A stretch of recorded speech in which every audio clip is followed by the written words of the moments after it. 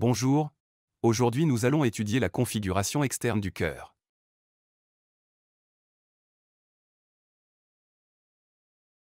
Pour ce faire, nous allons adopter le plan suivant. D'abord les généralités sur le cœur et ses fonctions. Ensuite sa configuration extérieure ainsi que ses formes et mensurations. Et pour finir on va se pencher sur ses rapports topographiques. Le cœur est placé dans la cavité thoracique. Il occupe le médiastin antérieur, c'est-à-dire la région intermédiaire aux deux loges pleuropulmonaires. Il est logé entre les deux coupoles diaphragmatiques.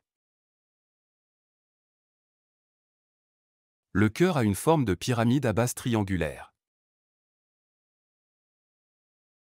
Il agit comme une véritable pompe aspirante et refoulante du sang, doué de contractions rythmiques de 64 à 74 contractions par minute. Le cloisonnement du cœur nous permet de distinguer un cœur droit dans lequel circule le sang veineux, et un cœur gauche occupé par le sang artériel. Le poids du cœur augmente avec l'âge et atteint un poids moyen de 270 g chez l'homme et 260 g chez la femme. Les dimensions du cœur dépendent de son état d'entraînement, et correspondent au moins à la taille du point fermé de son porteur.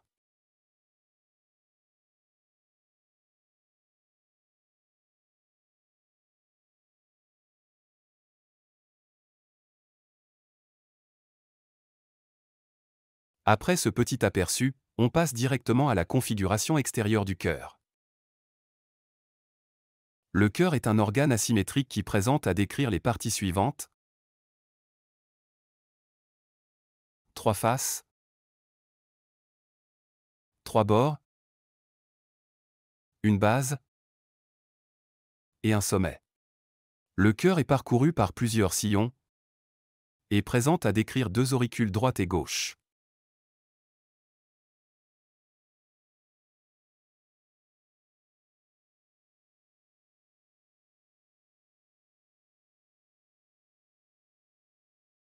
Le cœur présente une face antérieure ou sternocostale, une face inférieure ou diaphragmatique,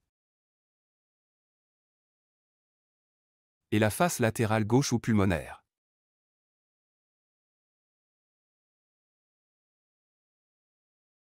La face sternocostale occupe la quasi-totalité de la surface antérieure du cœur, tandis que les faces pulmonaires et diaphragmatiques partagent le versant postéro-inférieur gauche. Chacune d'elles est divisée par le sillon auriculo-ventriculaire en deux segments, l'un antérieur ou ventriculaire, l'autre postérieur ou auriculaire.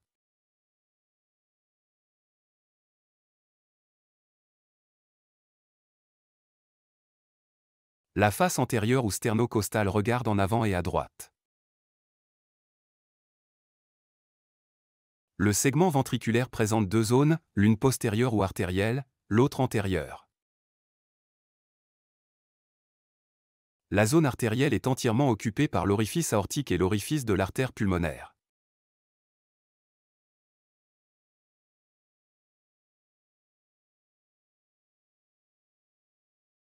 La zone antérieure est légèrement convexe et divisée en deux champs l'un gauche petit,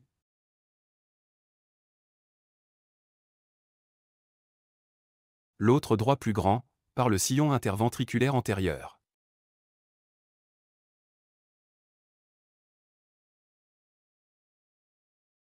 Dans le segment auriculaire, chacune des oreillettes présente en avant un prolongement qui est aplati transversalement, et dont le contour est irrégulièrement dentelé, ce sont les auricules.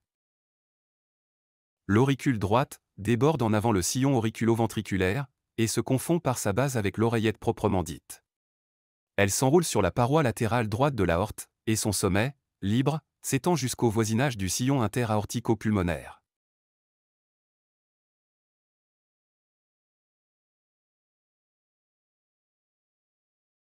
Quant à l'auricule gauche, seule son extrémité antérieure appartient à la face antérieure du cœur. Elle s'avance jusqu'au niveau de la face latérale gauche de l'artère pulmonaire. Par la plus grande partie de son étendue, elle fait partie de la face gauche du cœur.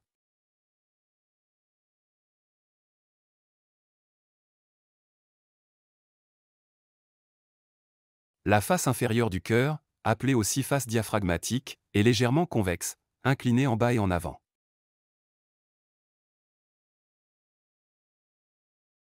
Le segment ventriculaire est divisé par la partie inférieure du sillon interventriculaire en deux champs. Le droit plus grand et le gauche. Le segment auriculaire est plus étroit.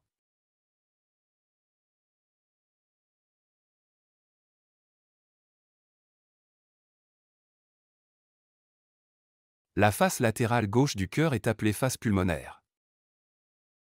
Elle regarde à gauche et en arrière et correspond au ventricule gauche. Elle est convexe de haut en bas, cette convexité est surtout accentuée dans le segment ventriculaire.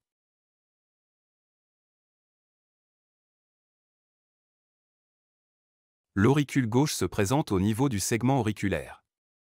Elle s'enroule sur la face latérale gauche de l'artère pulmonaire.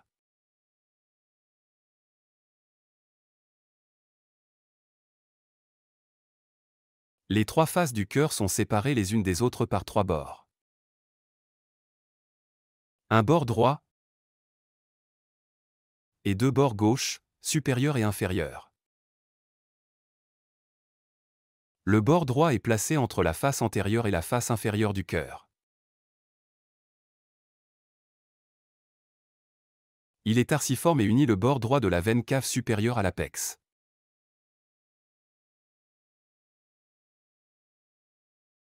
Les deux bords gauche, supérieur et inférieur, sont arrondis et séparent la face latérale gauche des faces antérieure et inférieure.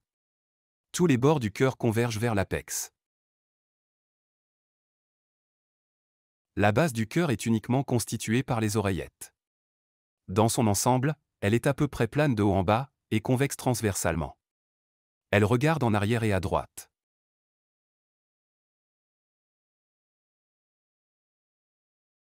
Elle est divisée en deux segments, l'un droit et l'autre gauche, par le sillon interauriculaire.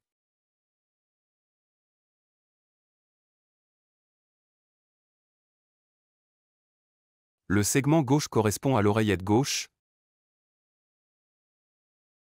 sur laquelle on aperçoit les orifices des quatre veines pulmonaires, qui sont au nombre de deux de chaque côté.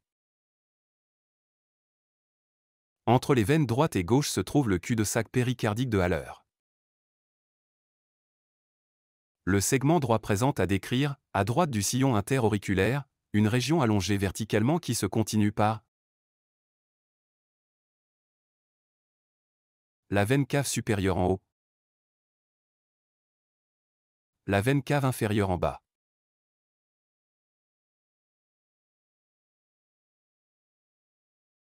Cette zone vasculaire est limitée à droite par un sillon vertical légèrement arqué et concave à gauche, c'est le sulcus terminali.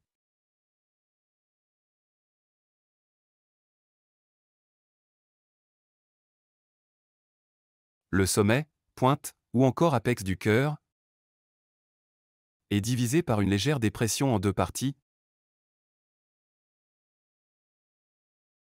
L'une droite petite répond au ventricule droit. L'autre plus volumineuse appartient au ventricule gauche et occupe le sommet même du cœur.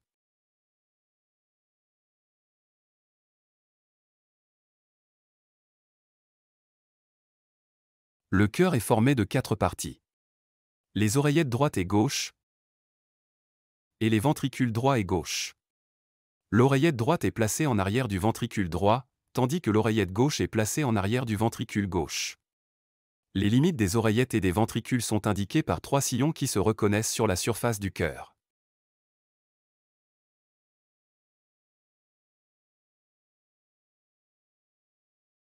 Le sillon interauriculaire, le sillon interventriculaire, et le sillon auriculo-ventriculaire. Le sillon auriculo-ventriculaire est situé dans un plan perpendiculaire au grand axe du cœur, et croise les trois faces et trois bords de l'organe.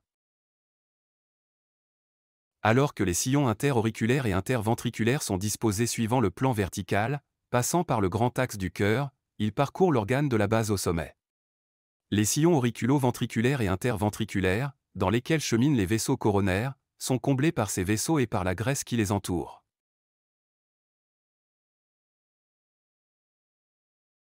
Le sillon interauriculaire occupe la base du cœur. Il sépare l'oreillette droite de l'oreillette gauche. Il est convexe à droite dans sa partie supérieure, et répond à gauche aux veines pulmonaires. Il est concave à droite dans sa partie inférieure, et répond au bord gauche de l'orifice de la veine cave inférieure.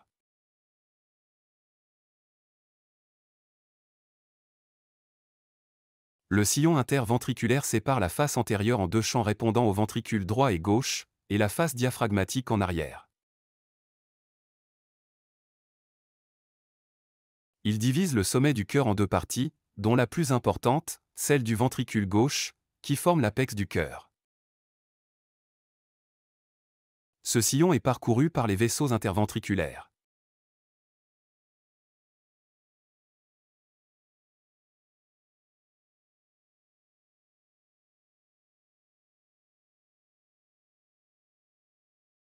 Le sillon auriculo-ventriculaire sépare les oreillettes des ventricules.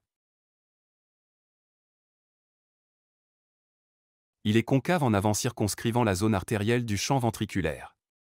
Il longe l'auricule droite et contourne le bord droit du cœur pour passer sur la face diaphragmatique.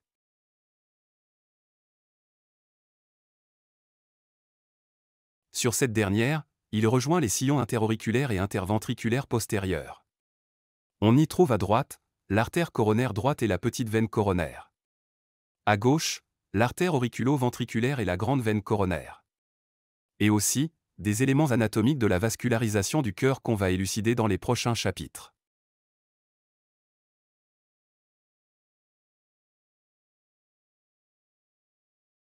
Les auricules représentent les prolongements des oreillettes, au nombre de deux, droite et gauche, elles constituent des réservoirs dynamiques amortissant par leur élasticité et leur contractilité les variations de pression intracardiaque.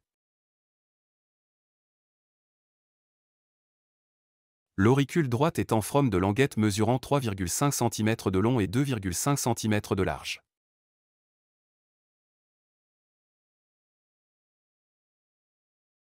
Elle est triangulaire à base postérieure,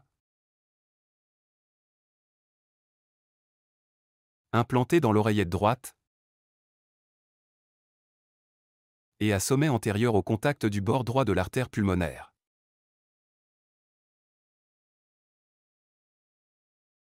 Elle recouvre en partie le sillon auriculo-ventriculaire droit.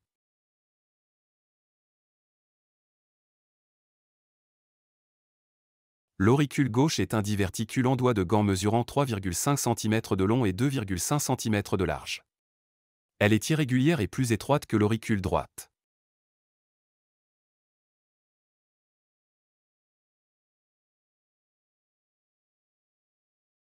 Son bord inférieur recouvre le sillon interauriculo-ventriculaire gauche.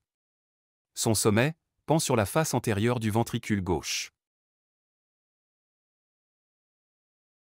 La radiographie permet la mensuration de l'image cardiaque.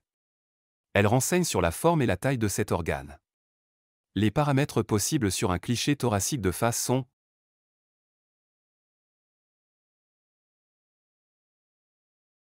le diamètre transversal maximal, qui est déterminé à partir de la ligne médiane du thorax.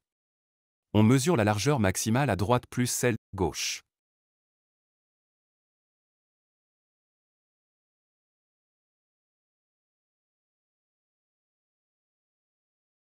Le diamètre longitudinal représente la distance qui sépare l'incisure du bord droit du cœur de la pointe cardiaque.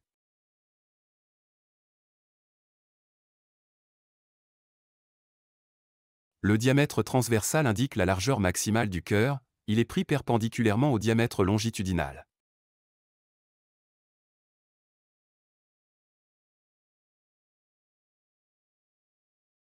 La largeur de l'aorte et la distance qui sépare l'incisure du bord droit du cœur de l'arc aortique.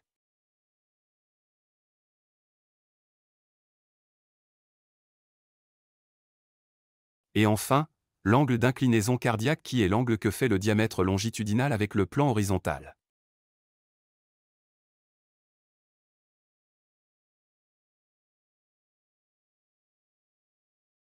En fonction des variations de ce dernier paramètre, on peut décrire trois types morphologiques de la silhouette cardiaque.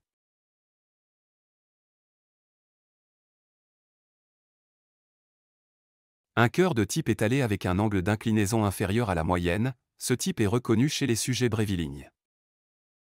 Un cœur de type moyen chez un sujet de constitution moyenne, avec un angle d'inclinaison cardiaque de 45 degrés.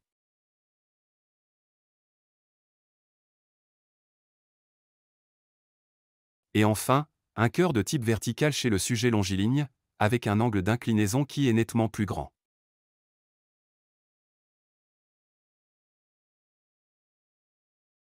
Sur les images ci présentes, on peut mieux apprécier les variations du cœur et de l'arc aortique en fonction du type morphologique.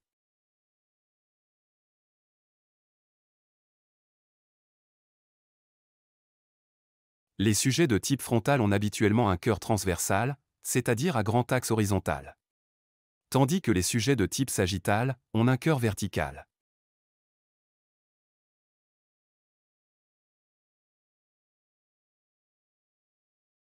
Occupant les deux tiers du médiastin antérieur, le cœur entre en rapport, par l'intermédiaire de ses enveloppes péricardiques, avec les parois et le contenu de la cavité thoracique.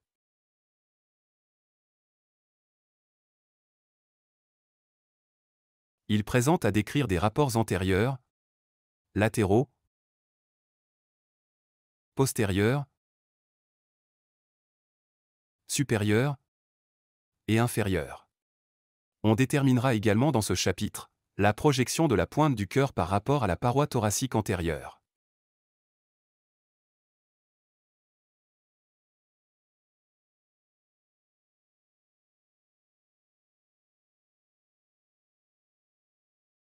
Les rapports antérieurs sont représentés essentiellement par la paroi antérieure du thorax et les viscères interposés entre le cœur et cette paroi.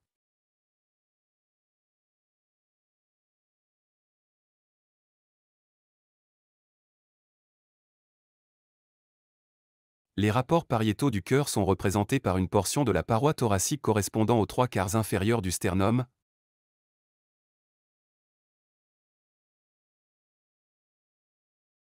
au troisième, quatrième et cinquième cartilage costaux et aux extrémités antérieures des espaces intercostaux correspondants.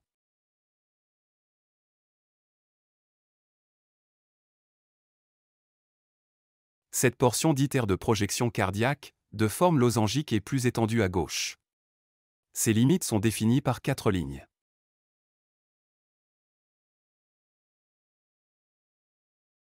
Une ligne horizontale supérieure passant à la hauteur des deuxièmes espaces intercostaux, et dont les extrémités sont à un centimètre de chaque côté des bords latéraux du sternum. Une ligne horizontale inférieure qui part de la sixième articulation sternocostale droite, coupe la jonction sterno-xiphoïdienne et se termine dans le cinquième espace intercostal gauche à 8 cm de la ligne médiane. Deux lignes obliques joignant les extrémités des deux lignes horizontales précédentes.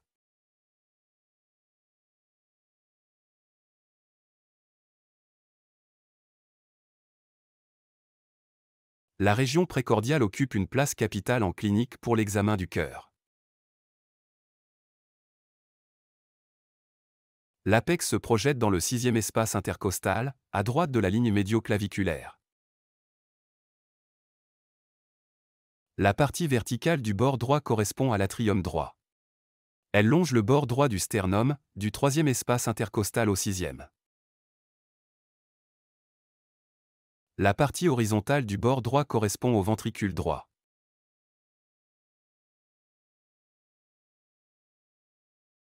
Le bord gauche correspond à l'auriculéo ventricule gauche.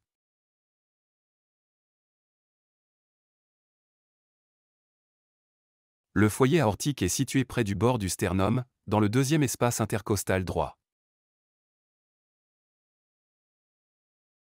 Le foyer pulmonaire est situé dans le deuxième espace intercostal gauche, près du sternum.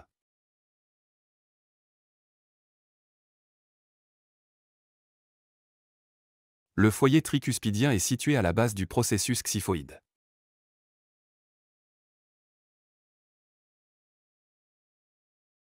Le foyer mitral est situé dans le cinquième espace intercostal gauche, sur la ligne médio-claviculaire.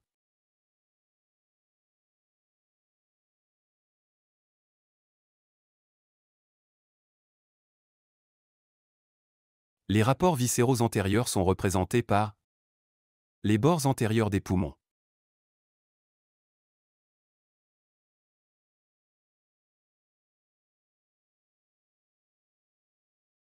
Les cul-de-sac pleuroquis s'écartent en bas et en dehors, délimitant le triangle interpleural correspondant à la zone de matité absolue du cœur.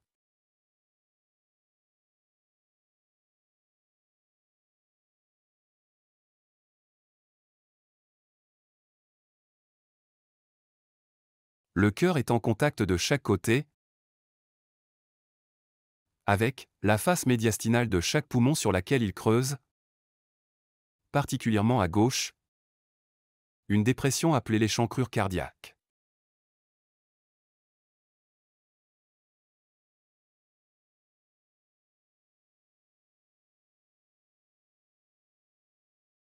Il est en contact aussi avec la plèvre médiastinale,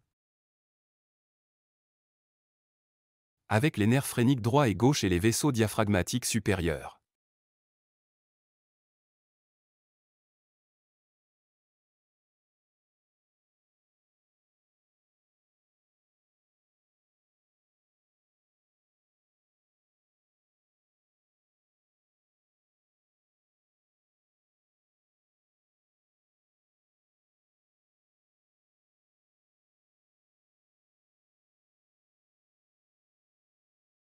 La face postérieure du cœur ou base, entièrement auriculaire, est subdivisée par le sillon interauriculaire en deux segments, droit et gauche, ayant chacun des rapports particuliers.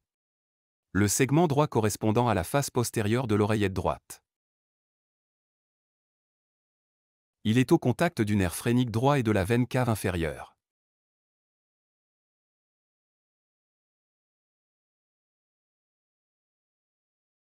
Le segment gauche correspond à la face postérieure de l'oreillette gauche.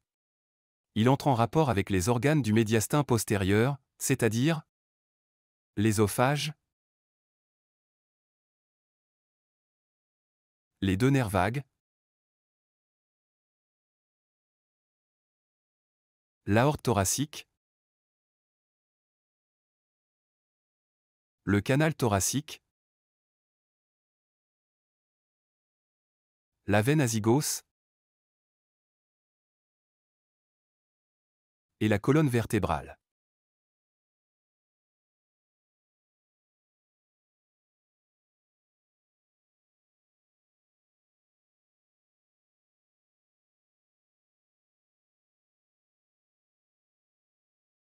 Les rapports supérieurs sont représentés par l'étage supérieur du médiastin et son contenu, c'est-à-dire les gros vaisseaux à savoir la crosse aortique, la bifurcation de l'artère pulmonaire, les troncs veineux brachiocéphaliques. Le cœur est également en rapport avec la loge thymique et la bifurcation trachéale.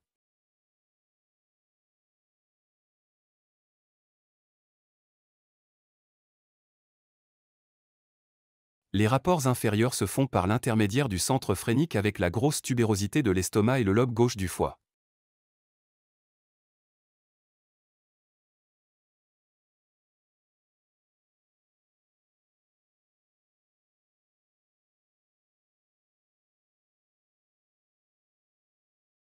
La pointe du cœur se projette, chez l'adulte, en dedans et au-dessous du mamelon gauche,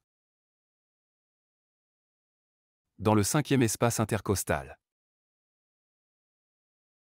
Elle est située plus haut chez l'enfant, quatrième espace, et plus bas chez le vieillard, cinquième espace.